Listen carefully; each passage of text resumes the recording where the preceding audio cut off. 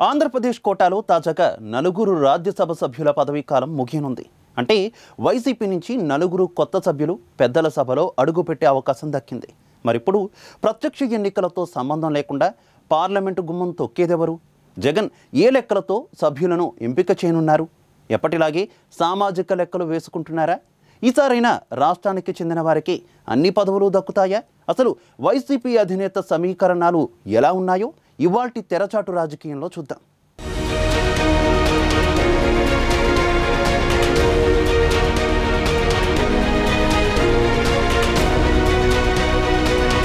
ఏపీలో నలుగురు రాజ్యసభ సభ్యుల పదవీకాలం త్వరలో ముగియనుంది.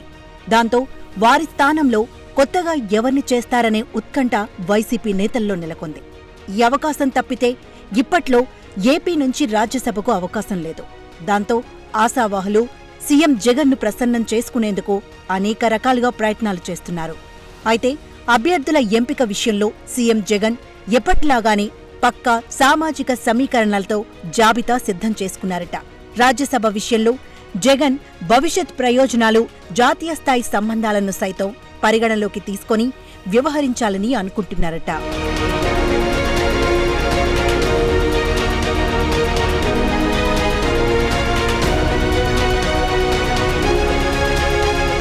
ఏపీ నుంచి ప్రస్తుతం రాజ్యసభకు ప్రాతినిధ్యం వహిస్తున్న బీజేపీ సభ్యుడు సురేష్ ప్రభు వైసీపీకి చెందిన విజయసాయిరెడ్డి టీడీపీ నుంచి బీజేపీలో చేరిన సుజనా చౌదరి టీజీ వెంకటేష్ పదవీకాలం ముగియనుంది. వారిలో బీజేపీకి ప్రాతినిధ్యం వహిస్తున్న ముగ్గురికి ఏపీ నుంచి అవకాశాలు లేనట్లే. ఇక విజయసాయిరెడ్డిని తిరిగి పెద్దల సభకు కంటిన్యూ చేయాలని సీఎం జగన్ నిర్ణయించినట్లు తెలుస్తోంది. అలాగే మిగిలిన మూడు సీట్లలో కూడా జగన్ ఇప్పటికే ఒక నిర్ణయానికి వచ్చినట్లు సమాచారం. జగన్ సీఎం అయిన నాటి నుంచి బీసీ వర్గాలకు ప్రాధాన్యత ఇస్తున్నారు. గతంలో రాష్ట్ర మంత్రులుగా ఉన్న బీసీ వర్గానికి చెందిన పిల్లి సుభాష్ చంద్రబోస్ మోపిదేవి వెంకట్రమణలను రాజ్యసభకు పంపారు.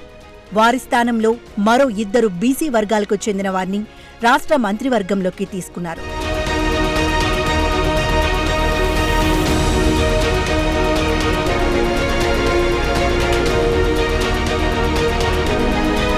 ఈసారి రాజ్యసభకు నెల్లూరుకు చెందిన ప్రముఖ పారిశ్రామికవేత్త బీద మస్తాన్ రావును రాజ్యసభకు పంపాలన్నది సీఎం జగన్ ఆలోచనగా తెలుస్తోంది. నెల్లూరు జిల్లాలో ప్రస్తుతం బీసీ వర్గానికి చెందిన అనిల్ మంత్రిగా కొనసాగుతున్నారు. త్వరలో జరిగే మంత్రివర్గ విస్తరణలో నెల్లూరు జిల్లా నుంచి అనిల్ను కొనసాగిస్తారా లేదా అన్నదానిపై స్పష్టత లేదు.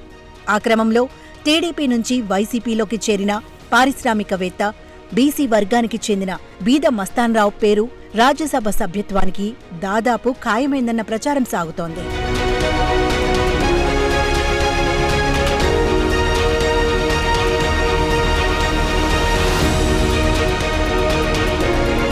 ఇక మూడో స్థానం కోసం గుంటూరు జిల్లా చిలకలూరిపేట సీనియర్ నేత మరి రాజశేఖర్ పేరు పరిశీలనలో ఉందట. పార్టీ అధికారంలోకి వస్తే ఖచ్చితంగా ఎమ్మెల్సీ ఇస్తానంటూ జగన్ ఆయనకు హామీ ఇచ్చారు. ఎమ్మెల్సీల ఎంపిక సమయంలో ప్రతిసారి ఆయన పేరు పరిశీలనలో ఉన్నా చివరి నిమిషంలో మర్రికి చుక్కెదురవుతోంది. తాజాగా జరిగిన ఎమ్మెల్సీల ఎంపికలో ఆయనకు శాసనమండలి పదవి ఖాయమని భావించినా ఇరుగు పొరుగు జిల్లాల నుంచి అదే సామాజిక వర్గానికి చెందిన వారికి అవకాశం ఇవ్వటంతో ఆయనకు ఛాన్స్ దక్కలేదు. దీంతో ఆయన తాజాగా సీఎంతో సమావేశమయ్యారు.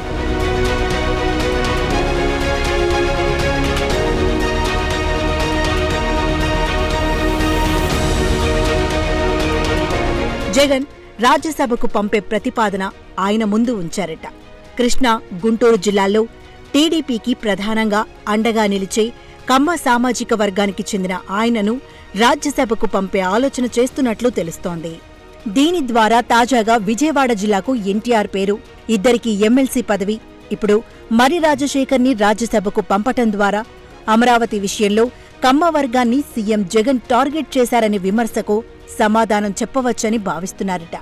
అయితే గుంటూరు నుంచి ఇప్పటికే మోపిదేవి వెంకట్రమణ ఆళ్ళ అయోధ్య రామిరెడ్డి రాజ్యసభ సభ్యులుగా ఉన్నారు. మరో స్థానం సైతం గుంటూరు జిల్లాకే ఇస్తారా అన్న అనుమానాలు వ్యక్తమవుతున్నాయి.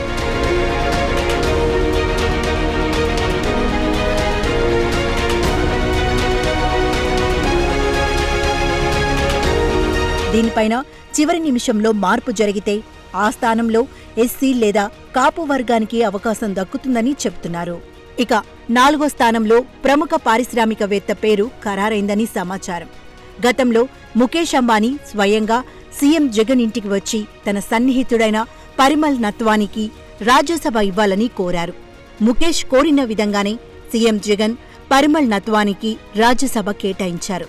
ఇక ఇప్పుడు అంబానీతో వ్యాపార రంగంలో పోటీగా నిలిచే మరో దిగ్గజం అదానీ బ్రదర్స్లో ఒకరికి వైసీపీ నుంచి రాజ్యసభకు పంపనున్నట్లు చెప్తున్నారు.